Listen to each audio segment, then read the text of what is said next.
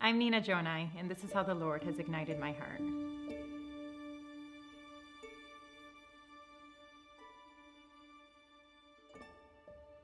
My husband and I have been married for 11 years, and we have four children. My youngest is two and a half, and my oldest is eight.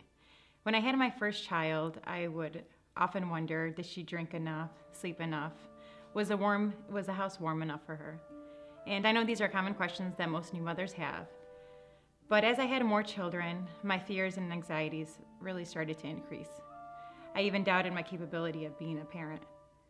I would ask myself, how can one person be responsible for the health, safety, and well being to the lives of four people to the degree that they deserved? And then certain scenarios would start to occur in my head. For example, what if one day I was at the park and I lost sight of a child because I was occupied with my other one?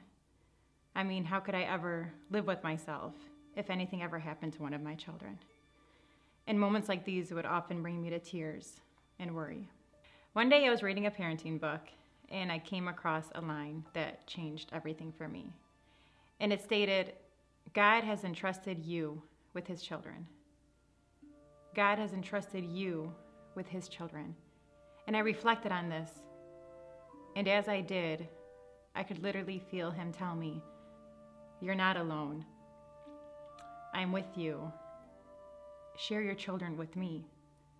I always knew that my children were God's. He created them first. But what I never thought about was that He planned all four of them for me.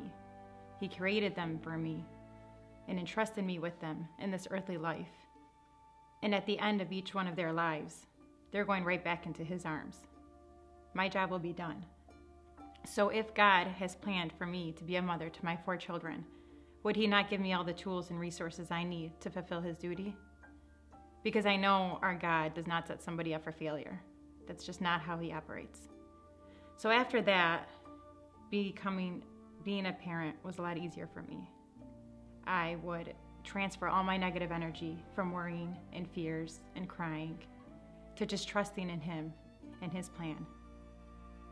Whether we are in the midst of chaos at an airport or if they're simply playing in the backyard, I would call on Him for help, to watch over them, to protect them.